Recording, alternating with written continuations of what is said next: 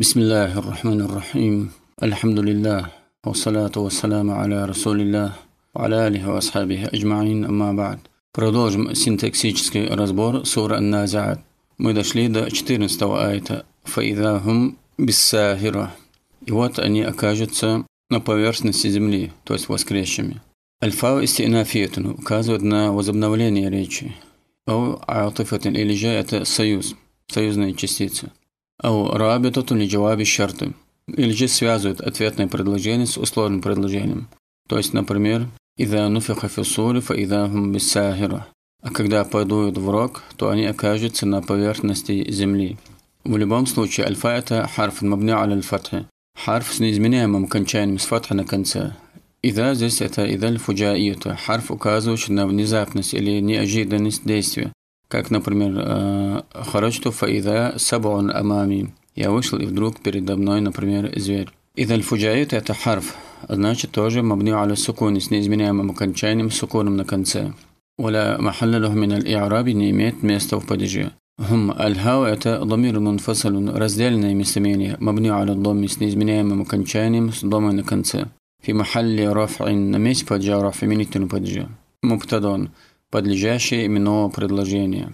والميم الساكنة تسكنير نون на конце. هم это у нас علامة جمع المذكر признак множественного числа мужского рода مبني على سكون لا محل له من الإعراب بالساهرة الباء حرف جر пролог родительного падежа مبني على الكسر с неизменяемым окончанием с касры на конце الساهرة مجرور بالباء поставлен حرف باء в состоянии جر родительный падеж وعلامة جره признак падежа جر в этом имени الكسرة الظاهرة في آخره явная касра на его конце والجار والمجرور предлог родительного падежа ба и поставленное им состояние جر родительный падеж Имя Ас-Сахира все это муталикан би, э, бимахдуфин, состоит в смысловой связке с удаленным амельным фактором. Аль-джар валь-маджрур будет фи махалли рафи на месте поджа рафи именительный поджа. Хабаруль муптадай, сказуемое подлежащего. Валь-муптада ума хабарихи подлежащие хум вместе со своим сказуемым, то есть словом э, джар маджрур бисахира, все это джумлятун исмиятун, именное предложение, истинафиятун, возобновленное новое предложение, и ау атифатун, или соединенное союзом вау с предыдущим предложением, которое не имеет места в падеже.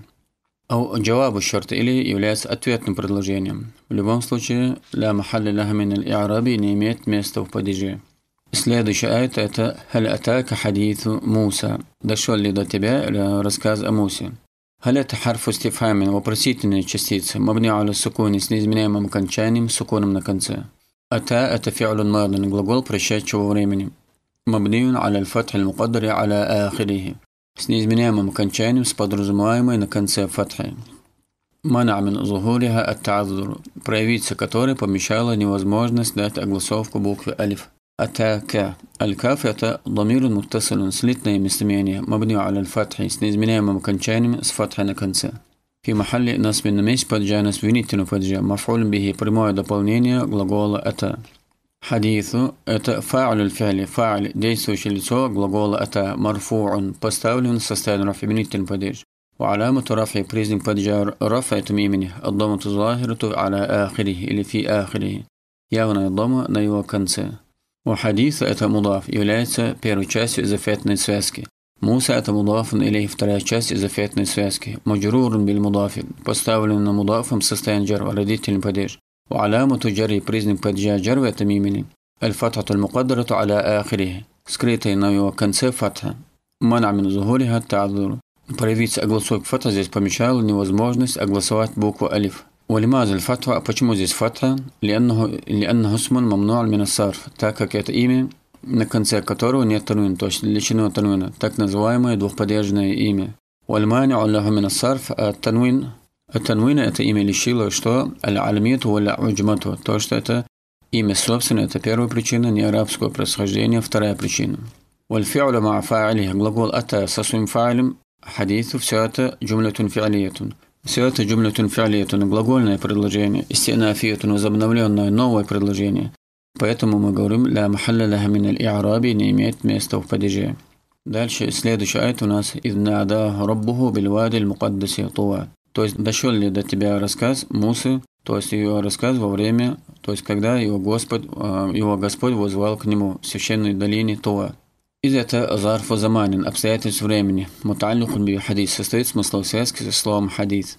Или же аухо мафуль бихи лифиалин махдуф. Или же можно сказать, что это прямое дополнение скрытого подразумеваемого глагола. Например, узлкур из надо, то есть помни, упомяни то время, когда я сказал. В любом случае, это исмун мабню аля сукуни, имя с неизменяемым окончанием, сукуном на конце.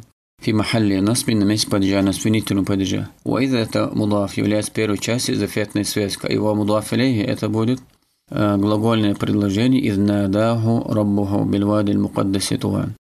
Но об этом, иншаллах, мы, мы поговорим на следующем уроке. Аллаху а'лам. Альхамдулиллахи раббил аламин.